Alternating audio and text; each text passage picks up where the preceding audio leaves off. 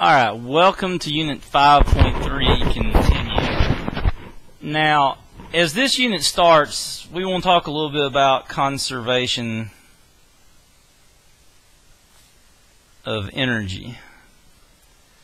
And for all useful purposes, we can practically say energy is not created or destroyed, although technically that's, that's not 100% true.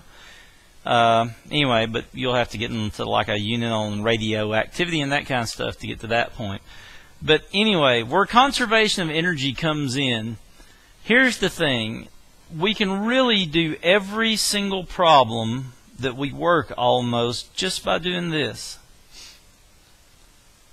This is the most beautiful equation in this entire unit.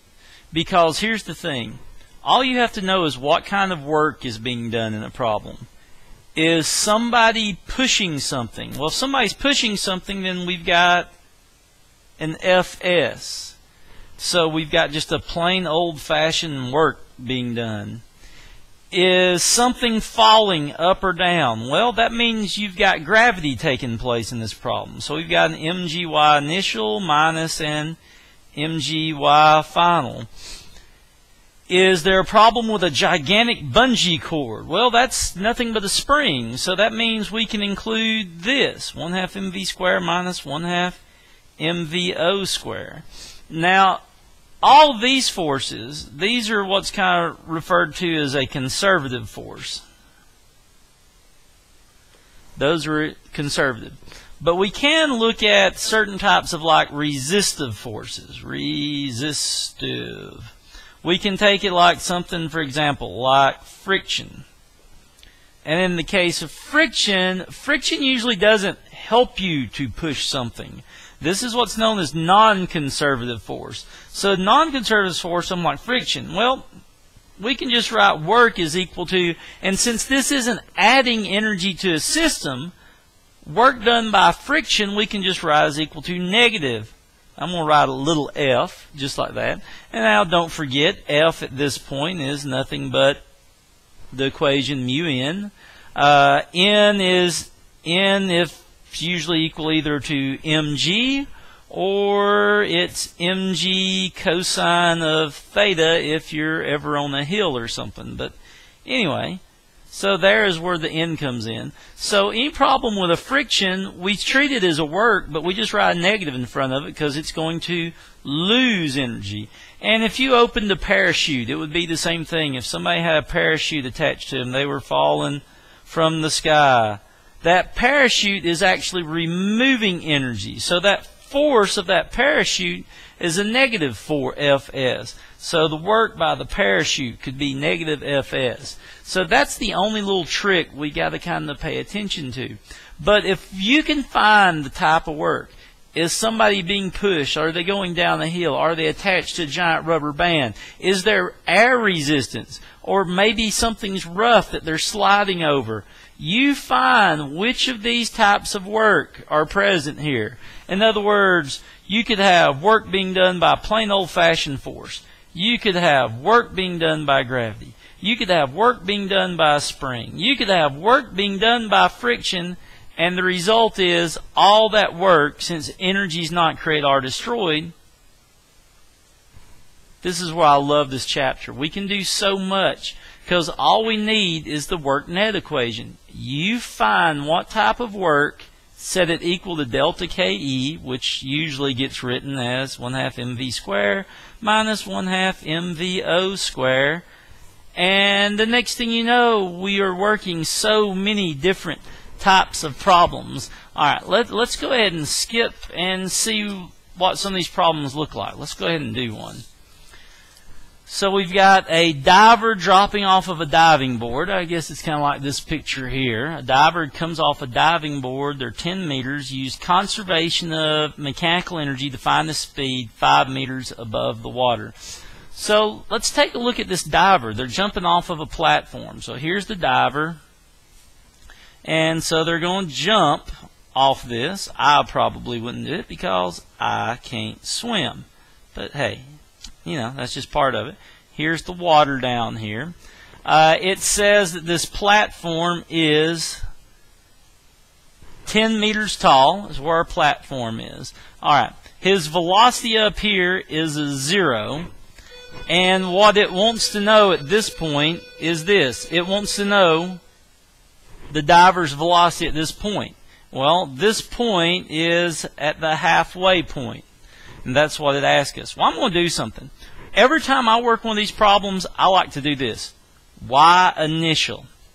My Y initial, I just always make zero at this point. So wherever the problem starts, I say, therefore my Y initial is zero.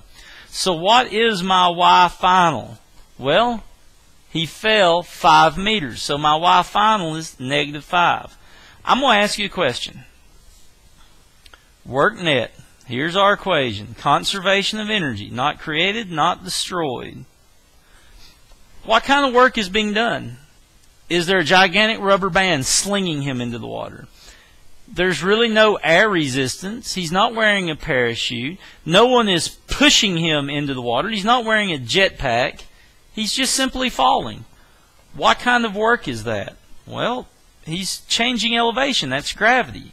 So work done by gravity is, believe it or not, there. That's this problem. The physics is over.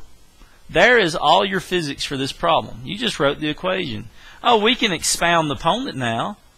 mgy initial minus mgy final equals 1 half mv square minus 1 half mvo square. But now, this is what's beautiful, and it happens when you do this problem a lot. Y initial was 0. VO was 0. We've marked off half of this problem. And so, oh, cool. Our masses cancel. We're left with negative g y final equals 1 half v square. And that's all we're left with. And it asks us to find his velocity after he's fell uh, 5 meters, find, come da, da, da, find the speed. So all we have to do is negative 9.8 times y is negative 5 equals 1 half of v square. So all we have to do is come in here and plug in these numbers. Negative 5 times negative 9.8. 5 times 9.8. Negatives cancel. Hmm, 49 times 2 is 98. So we've got 98 is equal to v square. Take a square root. Square root of 98 is going to be basically almost 10, 9.89. So 9.9 meters per second. And there's his velocity. And all we did was use that one equation to get us there. That's what's so good about these. Now, for part B, it just says, well, I'm not even going to work it. For part B, it says, find his speed at this point. Well, if you want to find the diver's speed here, just change y final to negative 10. That's going to be it. So you're going to end up going back to here instead of negative 9.8 times negative 5, it'd just be times negative 10. So you get 98 times 2, take your square root, what, 14? Let's see what the difference is. So that would be 98 times 2 square root answer. I said 14. The answer is, oh my goodness, it's 14. And no, I did not cheat my brain is legitimately that. Well, anyway. Ah, so, now that I've finished talking about me for a second, let's go and let's do another problem. Let's do at least two problems on this video. Uh, now, this unit's got a bunch of questions in it. I'm not even done working the examples yet. It takes forever to get through this. Let's take a look at this next question in our problems. It's one about a sled and a rider weigh 800. They move down a frictionless hill uh, use energy to find speed at the bottom of the hill. And it says the rider pushes off with initial speed of 5. Okay. So let's take this problem break it down. We've got a rider sled on a hill. So let's do this. It tells me that the sled and the rider, draw my little sledder up here, it says that they have a weight of 800 newtons up there. And we're really not needing their, oops, we're really not needing their weight up here. But what we can do is 800 divided by 9.8, And if you don't know what I'm doing, that's W equals mg. We're just using the weight equation. So divide that weight by 9.8, and we've got a mass of, yes, that's the bell. I'm in a school, and it's summertime, and the bells still ring. So anyway, M is equal to, we've got 81.6 kilograms, 82. Anyway, so 81.6. It says that this hill is another magically 10 meter tall hill. Alright, here's one thing that's kind of different from a problem we did earlier like this. This one says that this rider at the top, VO, is equal to 5. This rider gives himself a push off at the top. And what the problem wants to know is what is the velocity at the bottom of the hill? Well, even though this problem may look harder, it's not harder. Before I even write my first equation, I want to take care of my y's. I'm going to call this point up here my y initial. And I always, it's just me, I always call y initial 0. Which means, go down this hill, what is my y final? Well, he fell he fell 10 meters. So y final is negative 10 meters. Okay, well, we've kind of got that taken care of now. All right, so let's just go to this. Work net. I'm going to work every problem the rest of this chapter using this one equation. What's the only kind of work being done? Yeah, I know he pushed at the top, but it's just, it didn't give us forces or distances it just we're going to assume pretty much he just gets this initial five.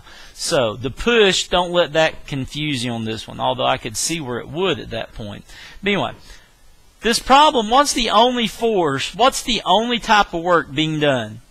Well, he's going up or down. There's no springs, there's no friction. He's just simply going down a hill.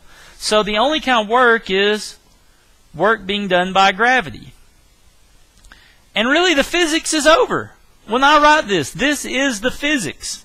We've got an mg y initial minus mg y final equals 1 half mv squared minus 1 half mvo square. And now, unlike the last problem we did, we only get to mark out one thing across here. mgy initial, we get to mark that out because we've got a VO, we're looking for that V, we've got a Y final. Although we can do one thing. If you look, mass, mass, mass, all our masses cancel out. So we've got negative G Y final equals 1 half V square. We could factor out the 1 halves. 1 half VO square. And yes, if you've got any attention, you will notice that when we work a problem like this, the equation basically turns into the third kinematic equation is all it's turning into. That is literally all this is. If you look at it, factor out the half times by 2, gy, acceleration, distance, it's a kinematic equation is all this is. But anyway, we can go ahead and plug in our numbers. Negative 9.8 times, what we got here? y is negative 10 is y final equals uh, 1 half v square minus 1 half VO, which was 5, so 5 square. And now we can go through and kind of work this problem a little bit. So we're going to have 98, uh, let's see here, that's going to be positive 98 equals 1 half v squared minus 25 times a half, that would be negative 12.5. So we end up with 98 plus 12.5. So that's 110.8 equals 1 half v squared. Let's just finish that. So we will times by 2. Since we are solving for a square tune, tune uh, term, take a square root of that answer. And the answer is 14.9 meters per second. Anyway, all right. So, there is our answer to question F. Okay, stay tuned for, I guess, Unit 5.3 continued, continued the video. Thank you for watching.